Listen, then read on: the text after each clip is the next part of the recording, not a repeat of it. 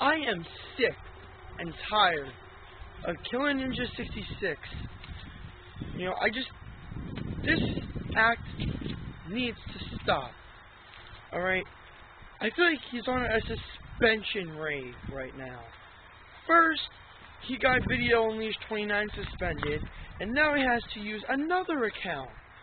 Which, if you guys don't know it, it's um called Raytheum X. Alright, and um, if you're watching Raytheum X Spears, aka Video Unleashed 29, I recommend that you block Killer Ninja 66.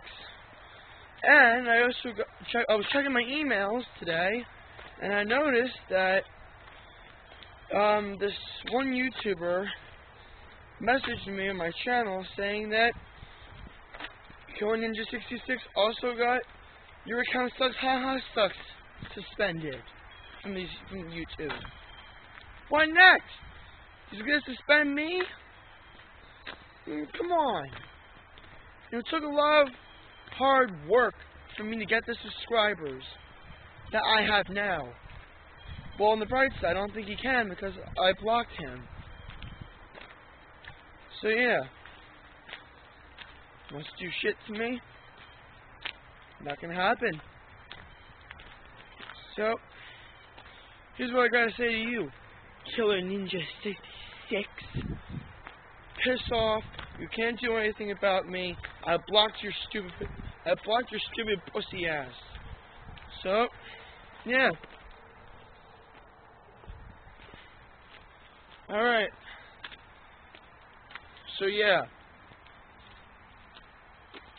If you see Killer Ninja 66, block him immediately. Because he is going on a suspension rage. I don't know how long the suspensions are. Alright, because Video Unleashed 29 especially, aka Raytheum X Spears, it's going to take me some time to get used to his new channel. But yeah, I mean, he's, he's had a lot of problems in the past with this asshole. He's gotten two of his old accounts terminated. AGK Master, a bunch of numbers, Killer Ninja 65, and now he's suspending this new his new channel, Video Only 29. Really? Now, all because of him, Video Unleashed 29 has to cancel his AGK series, which that pretty much sucks. I mean, I'm not canceling mine.